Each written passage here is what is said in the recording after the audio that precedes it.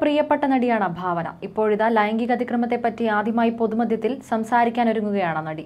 പ്രമുഖ ഇന്ത്യൻ മാധ്യമ പ്രവർത്തകയായ ബർക്ക ദത്ത നടത്തുന്ന വി ദി വുമൺ എന്ന പരിപാടിയിലാണ് ഭാവന തുറന്നു പറയുന്നത്. പരിപാടി മാർച്ച് ആറിന് ഉച്ചയ്ക്ക് രണ്ട് മണിക്ക് മോജോ സ്റ്റോറി എന്ന യൂട്യൂബ് ചാനലിലൂടെ സംപ്രേഷണം ചെയ്യും.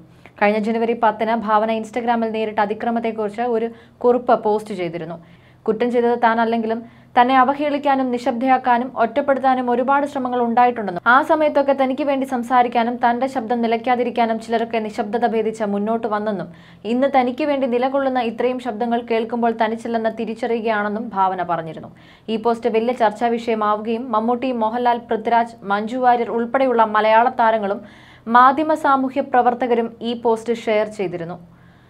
Asma Khan Indira Pancholi Swapna Monica Navyananda Shweta Bachchan Kavitadevi Meeradevi doctor Sangeeta Reddy doctor John Benson Ameera Shah doctor Shagun Sabharwal Manjama Jagathi doctor Rajam doctor Sangeeta Shankar Ragini Shankar Nandini Shankar എന്നിവരാണ് പരിപാടിയിൽ പങ്കെടുക്കുന്ന മറ്റതിഥികൾ.